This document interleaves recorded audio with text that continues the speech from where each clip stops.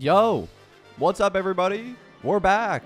Today, we're doing more main DPS Mona testing. It's a video I've done in the past. It did very well. I really enjoyed it. And the meta keeps evolving. So we're here today again to try a new type of Mona, which we've never tried before. We got artifact rolling, weapon testing, and we're going to see how good she is as a plunge DPS. So, without further ado, let's get in to today's video.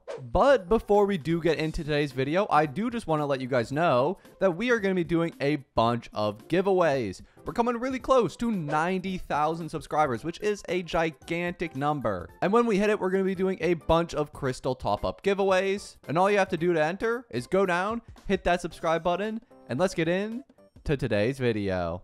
We're back again talking about main DPS Mona. I feel like it's been maybe a year or two since my last one, but we are back again and with a new glider. This glider is absolutely gorgeous, by the way. The Wings of Transient Dreams. Now, the main reason we're talking about her today is because of the new character, Xian Yun, or Cloud Retainer, who makes almost every character in the game better than they already were. Diluc, 10 times better. Xiao, 10 times better. Mona, maybe not as much, but she definitely got an improvement to her main DPS capabilities with the release of Cloud Retainer. And today we're going to show that off.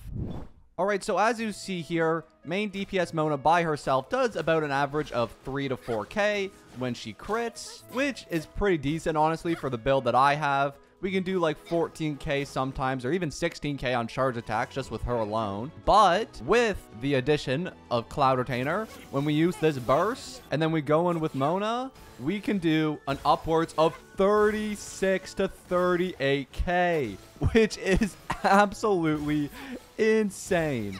Now, that is partially due to the fact that I have Cloud Retainer on 4-piece Viridescent, but that is also due in part to the fact that Mona has very, very high scaling on her plunging attack, coming in at a solid 281 to 225, depending on the height difference of your plunge attacks. Now, that is just a little glimpse into how good the build really is. We're going to take it later into the Spiral Abyss, but for right now, there are some more things I want to do because there are more ways we can optimize this build. Right now, I am running the Lost Prayer of Sacred Winds, the 4-piece Nymph's Dream, we of course have the C6 and we have 10 10 10 talent. Here are a glimpse of some of my artifacts. They're nothing crazy, but they do the job. Now, the main thing I want to talk about is her weapon. So right now, I am running her on Lost Prayer of the Sacred Winds, which is a very, very solid weapon. But recently, I actually got another really good weapon while I was rolling for Verdict on the Navia banner. I actually lost the 50-50 for Verdict, and I ended up getting a Skyward Atlas, which if you don't know, it's actually generally considered to be the best in slot for main DPS Mona. We go up to 2.2k attack, however our crit ratio takes a big hit. We, as you see, we go down to 38, 194, which is not great. So to counteract this, we're going to put her on a crit rate hat.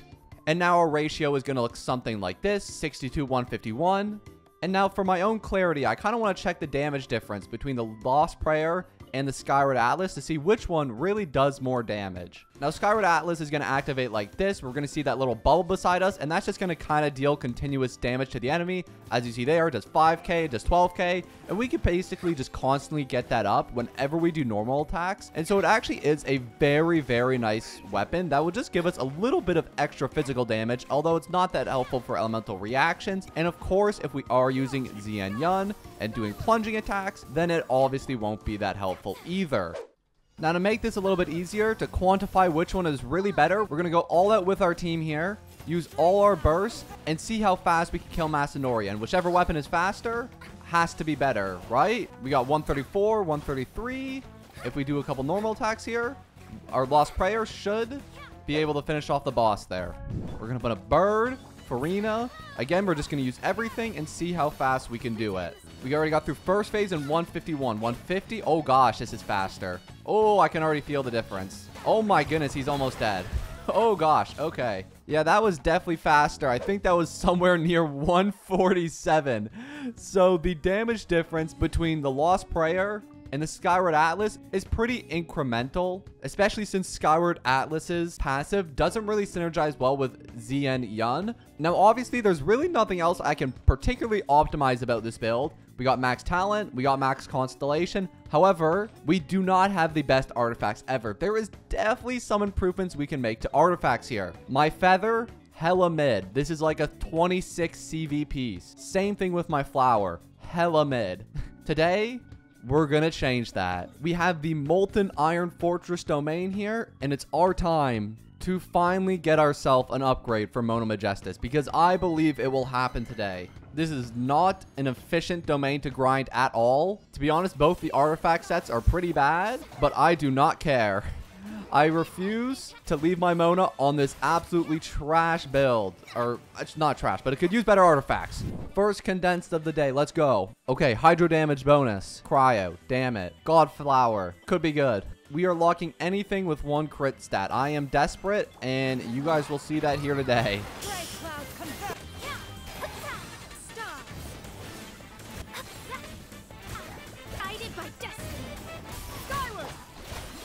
Jump and down. Jump. Holy crap.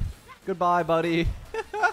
42. 42. Goodbye. Oh, my, bro, there's so many numbers. God piece. Come on.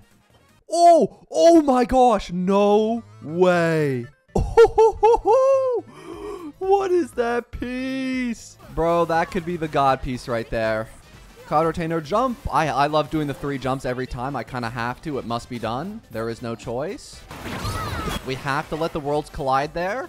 Put this down. We don't die.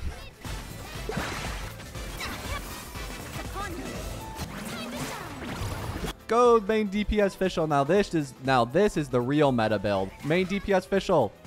oh, she got him. Good job, fish. Two more pieces? Maybe? No. Ooh. Oh, wrong set, though. Damn it. Okay, we're on to our final condense. Let's see if we can get one last good piece here with whatever we have left. Here we go. Bird. I love that move. 39, 35. Every time, bro, you die. Embarrassing. Goodbye. 47, 46. It's too free, man. Let's get our final condense here and see what we get. What is it going to be? Uh, nothing in the right set, so it doesn't matter. But oh my goodness, why? We've got everything in the wrong set today. Are you kidding me? Well, that's the end of our artifacts. I think it's time we finally go and make some god pieces. But first, we're going to go to our lucky spot. Because if you're rolling artifacts for somebody, then you should go somewhere that's meaningful to them. And that's why we're in front of Mona's house today. So let's roll some artifacts for her in front of her domain. Here we go. We're getting god pieces today. I do not care. Nymph's Dream, flowers. We got one possible flower with crit rate, and that's it. Let's see if we get crit damage. We get flat attack, dead. We got a lot of possible feathers. As you see, I have like nine locked here. We got one with just crit rate, but you never know. It could be the 15 crit rate piece. It won't be the 15 crit rate piece. And the rest of these are just roll the other crit stat Okay, crit rate, crit damage piece. That's one. What about this bad boy? Roll the other crit. Defense, unlucky. Other crit stat, unlucky. Attack percent, we might still keep that one. Attack percent. Attack percent. Okay. And that's all our feathers. We got one crit rate and damage one. That's probably the only one with a hint of potential. So let's try it out. I don't feel like playing games today, so we're just slapping a plus 20 into it and seeing what we get. Let's go. Here we go. Come on. Crit rate damage every time. Two times. That's decent, but I don't think it can be better than my current. Let's see. Crit rate again. Ooh, that could be better. I don't know. That's hard to say. Compare. So this one has attack, crit damage, crit rate. This one's missing attack percent, but it has more CV. That's a tough decision. We may just have to hold on to them both. They're very similar pieces. Let's move on to sands next. We got more, a lot of sands here. In fact, we have like way too many sands. We even have a defense double crit one. I don't remember getting this, but sure, I'll enhance it. I'll humor you. I won't humor you anymore. Screw you, Elemental Mastery. That's dead. We got two attack percent ones, both which have one crit stat. If, if they roll the other crit stat, they could be the god piece. Roll crit rate. Ooh, that is a big piece. Oh my goodness. Crit damage, energy recharge, crit rate. This could be a ginormous upgrade. if you just roll the right stats. Anything except HP percent. Please. Please, two times. No! Oh, oh, that sucks. We got no goblets, but we do have one last piece here. With crit rate, attack percent, and recharge. This could potentially be the best crit damage hat on my whole account if we just avoid that third stat. Do not betray me, game. Please. Just avoid the third stat. Oh! Wait, that's actually good. That took me a minute to, to clock in, but that's a good piece. Okay. Three crit rate, one attack, one defense. That is an upgrade. And we will take that piece. There we go. We actually got a decent piece. One defense is a little unfortunate, but other than that, that's a solid upgrade. But with that all being said, I think it's finally time we take Mona Megistus to showcase in the Spiral Abyss. We've got every optimization we can, and it's about time we prove what she is really capable of, because she is a beast, and I will prove it. We're going to go to floor 12. We are, of course, going to use her on the first half to fight things like the large overgrown breachers, eremites, and stuff like that. Beside Fischl, Furina, and Cloud Retainer because this comp is absolutely OP. Fischl is Fischl. Furina is Furina, And of course, Cloud Retainer is going to give us those plunging attacks. Here we go, Mona. It's your time. Let's see what you are capable of. Fischl Bird, Furina Burst, and now we put down this. We put down the Burst, and we go in. We go all in 50k. Are we doing consistent 50ks? Oh, baby. Oh, baby. Oh, 46. Oh, we're doing consistent 50Ks. Oh, this feels good. And look at that. We already defeated two of the big guys there. That is awesome. Now we just got some overgrown breachers, and if we don't die here, oh my goodness, that was close. I forgot that Cloud Retainer isn't the most reliable healer ever. Like I said, 58, 59, oh goodness, 61 right there with the burst. That being said, we don't care about the burst. Burst is cringe. And we can just do a couple normal attacks to finish it off. This build is actually very nice because you can just actually use normal attacks and it's still very viable because official. And we could beat it with 8 minutes and 40 seconds left to go, which I'm sure with Neuvillette on the second half will be absolutely no problem at all. Chamber 2 time. We got more attack percent. Let's go again. Let's show more capabilities.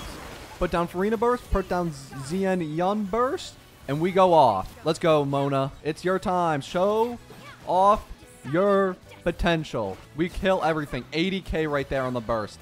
that is so nutty. We can throw some normal attacks in there. I need this guy gone. And just like that, he's gone. Ow. Oh, God. Oh, God. No, get out of the tornado. What is that move? Okay, Mona, I need you to eliminate her. Quickly. Hurry up.